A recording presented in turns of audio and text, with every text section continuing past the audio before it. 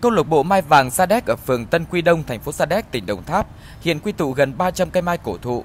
Dáng thế độc, đa phần là những cây mai xù mai nu có bộ gốc lồi lõm vững chãi. Câu lạc bộ được thành lập vào đầu năm 2020 với hơn 30 thành viên nòng cốt. Nơi này quy tụ gần 300 cây mai vàng trên diện tích hàng ngàn mét vuông. Theo ước tính của những người chơi mai thì bình quân mỗi cây ở đây có giá từ vài trăm triệu đến hàng tỷ đồng. Tổng trị giá các cây mai ở đây có thể lên đến hàng chục tỷ đồng.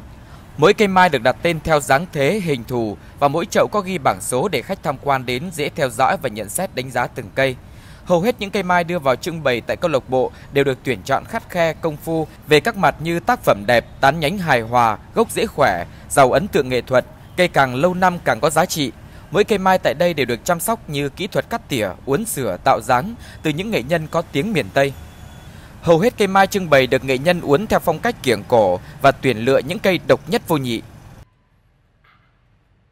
Là mỗi cây mỗi dáng mình phải có một một cái mô hình mình sửa theo đúng cái dáng thế nó thì nó mới đạt được chứ mình không có bây giờ mình đi theo một cái group nào hết. À, ví dụ như cái cây dáng nằm, cây ngủ ngũ phút này đi thì mình phải sửa theo cái thế cây mà gần cây. Còn cái thay kiểng kiển cổ thì mình phải làm theo cái mô hình kiển cổ còn cái cây mà giống như tàn đa thì mình phải sửa theo cái dáng cái bông tán nó tàn đa. Mỗi cây nó phải có một mỗi cái cách sửa uống sửa riêng.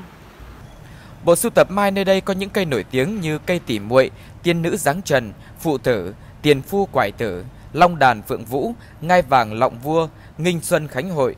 Ngoài ra, còn những tác phẩm được đặt tên gây thú vị, thu hút người chiêm ngưỡng như cây mai Pikachu, tiên lão hình mai, vườn lan bát giới, cúc vàng, Hiện tại vườn còn có hai cây mai có hình thù độc nhất vô nhị như cặp cây mai hình quạt có tên Khổng Minh. Đặc biệt nhất trong vườn trưng bày một cây mai tên Tuệ Sâm. Cây mai này có lý lịch độc đáo, chủ nhân là anh Vũ Đức Đông, người chủ khởi xướng thành lập câu lạc bộ Mai Vàng Sa Đéc. Chiều cao của cây tính từ mặt rễ lên là 2 mét, bề hoành 1 mét, nếu cả đế cây mai khoảng 3 mét. Ngoài ra, phần gốc của cây mai có rất nhiều u nần lớn, trong đó có nhiều hình dáng của các con rồng tụ lại.